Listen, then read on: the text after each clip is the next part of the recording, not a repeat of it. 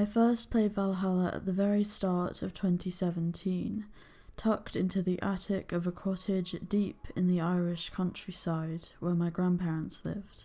By day, I was pulling together my university applications, and in the evenings, I would boot up the game while the icy wind rapped its knuckles at the rafters just over my head. Valhalla is a visual novel made by Venezuela based indie studio Sukeban Games. The game follows Jill Stingray, bartender at the eponymous Valhalla, as she mixes drinks and changes lives within a late 21st century dystopia. And while nowadays all it takes is a scroll through the Switch store to be inundated with visual novels made by indie studios based all over the world, at the time of its release, Valhalla was an absolute novelty. I can still remember the sheer excitement of simply being able to actually buy the game on Steam and download it straight to my laptop, rather than having to mess about with an English patch. I love visual novels, there's immense comfort to be found in the ability to return to a familiar world for weeks, months, or even years on end. And I've always been someone who enjoys reading over watching things or playing games, which makes this medium the perfect compromise. The pairing of writing and music has made for some of the most poignant moments fiction has ever afforded me. And as someone plagued with a ridiculously short attention span, the satisfyingly tactile sensation of having to click through every line of text is a game changer. As is fairly standard for the medium, Valhalla places its characters centre stage, and yet its relationships more often straddle the grey area between friendship and romance, over following a linear path, beginning with one and ending with the other. And while it still opts to utilise choices in order to advance certain characters' routes, it introduces a twist there too. Namely, new conversations and endings are unlocked through how you choose to mix drinks. Particular focus is given to whether you have learned your patrons' preferences, how closely you stick to their requests, and how drunk you decide to get them.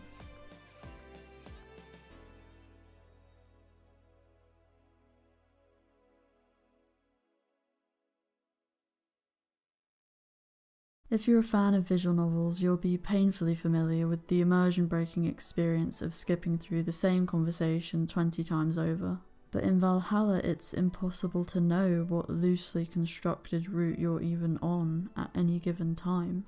At the end of my first playthrough, rather than immediately reloading the game to systematically unlock each conversation, I found myself making peace with the decisions I'd made.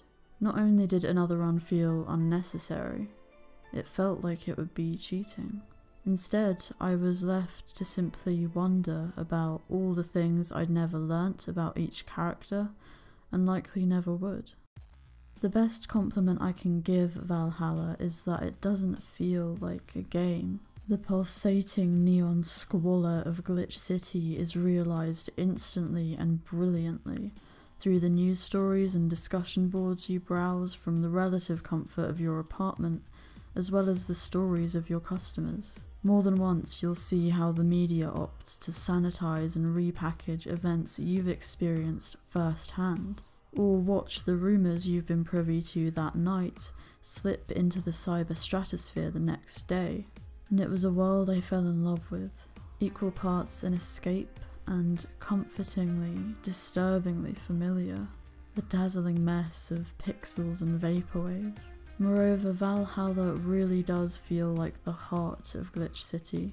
A grotty dive bar hidden down a side street is ideal, it turns out, for the world famous pop star giving the slip to a stalker, the media tycoon who constitutes said stalker, or the overworked intern of said media tycoon's company who just tried to throw herself off a nearby building. In its complete cross section of Glitch City's populace, Valhalla quickly begins to build a picture of all the ways these characters' lives directly and indirectly influence one another's.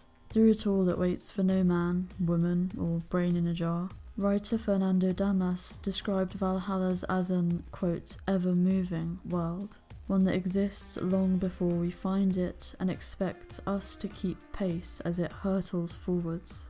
And yet, equal parts uplifting and devastating is the realization that no matter the time or place, people never really change. Valhalla's cast is one of individuals.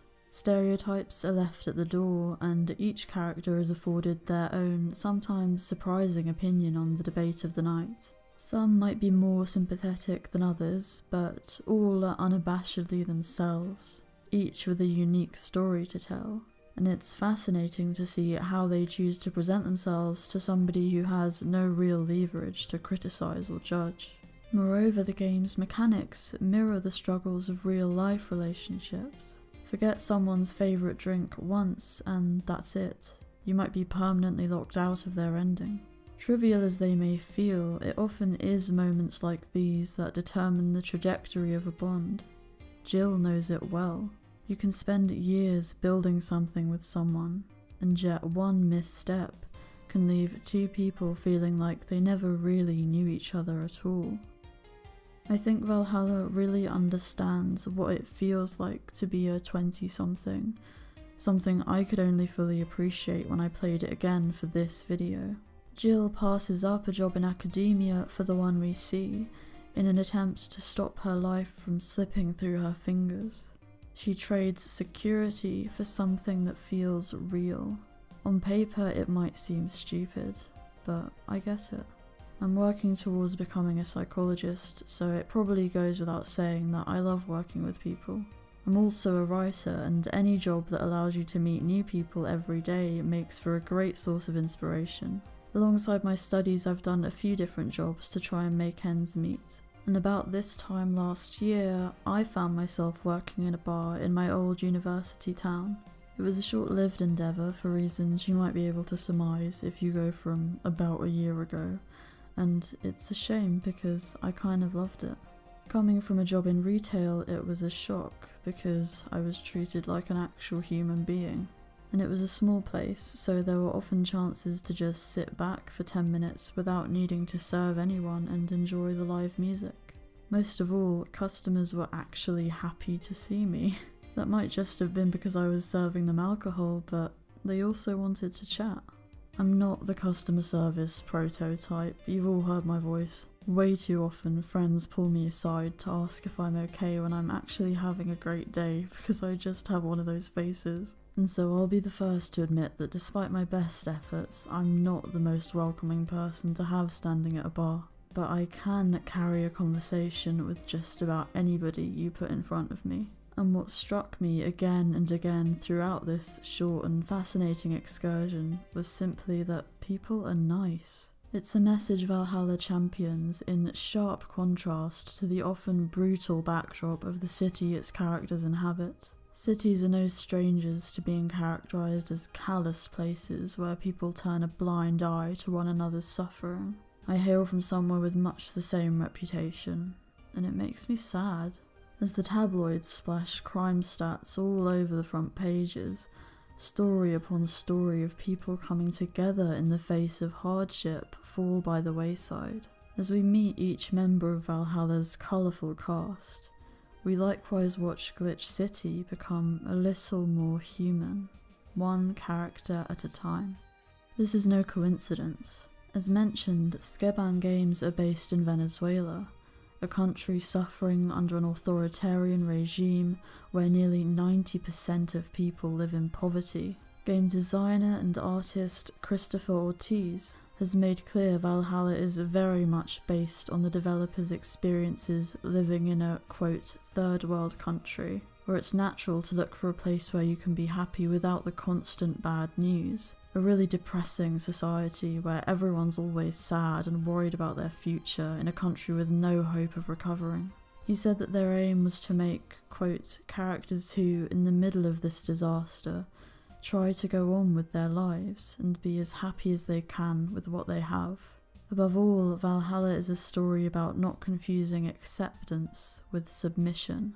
It's about searching for inner peace in a world falling apart at the seams, the quiet revolution of simply daring to be content, one day at a time. It struck me that Valhalla was a game you could give to someone 50 years in the future to show them what the world is like right now. Widespread protest, clashes between the people and those meant to protect them, the search for trustworthy information amidst a tidal wave of fake news were certainly concepts I was acquainted with in 2017, but I can't say I predicted just how prevalent they would become. As Ortiz puts it, we're getting eerily close to the cyberpunk works we admire so much in real life, but not many have realised that yet. In this way, Valhalla demands that we pay attention to what is happening just beyond the bounds of our daily news cycle, if not simply out of compassion for the suffering taking place in countries we'll never set foot in, then because it is there that we may find our futures reflected.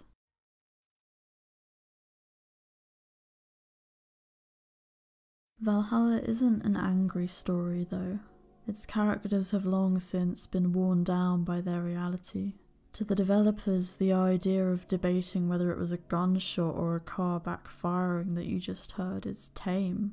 In interviews, they speak of friends jumping from rooftop to rooftop to escape violent protests, food and medicine shortages, working development around daily power cuts, and struggles to get paid for their work through local banks without money being siphoned off elsewhere.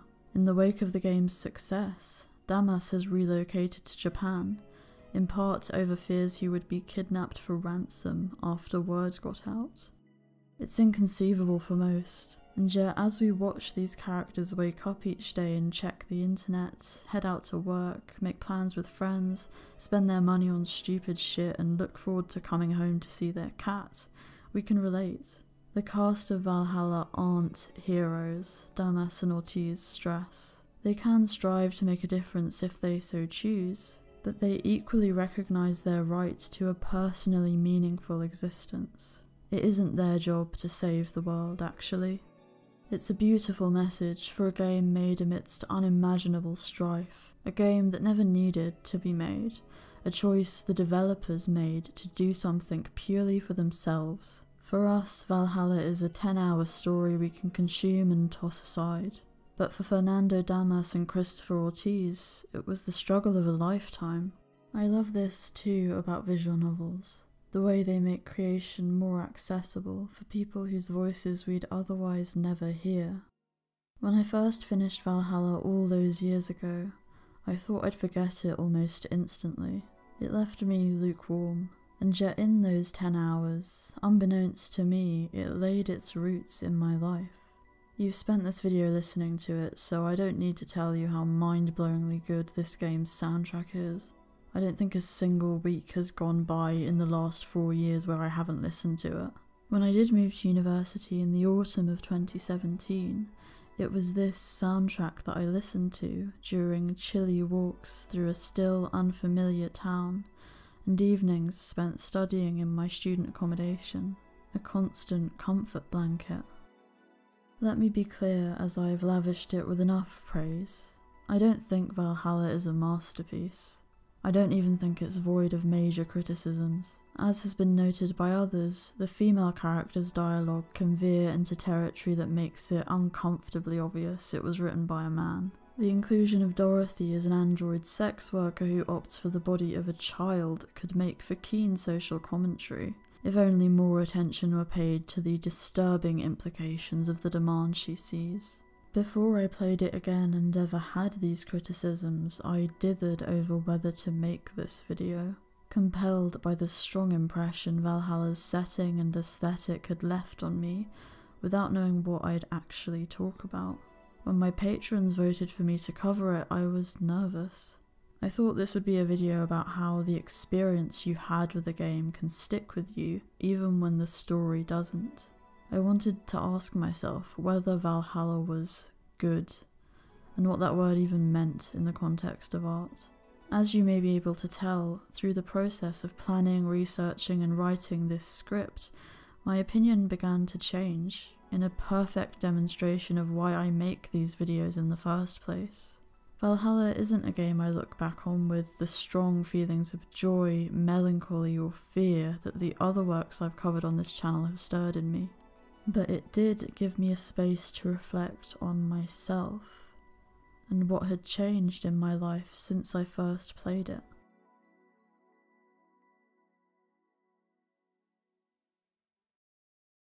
See, there's something cathartic in Jill's powerlessness. She doesn't always know what to say or do or how to fix everything or anything.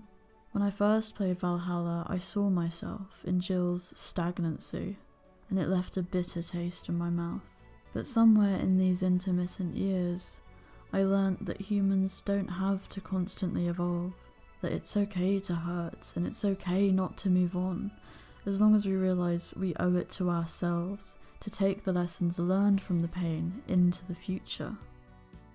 When you leave Glitch City, it's not on the heels of a bombastic finale or satisfying conclusion. Everything is just sort of the same. In the words of Zach Coetzer, sure there's an urban war brewing outside, but inside this bar is just people. Chatter about current events and politics, morality and sex. And damn if that mundanity isn't comforting right now. There was one song from Valhalla I really clung to, even months and years after finishing the game, by which point almost everything but its name had completely faded from my memory. Even as the story hadn't, this song stirred immense emotion in me. Having finally returned to this world that so captivated me all those years ago, I can confirm that its glow is as bright and alluring as it was then, as well as a little warmer and that in so many ways that I couldn't before, if nothing else, I finally understand what Valhalla was telling me.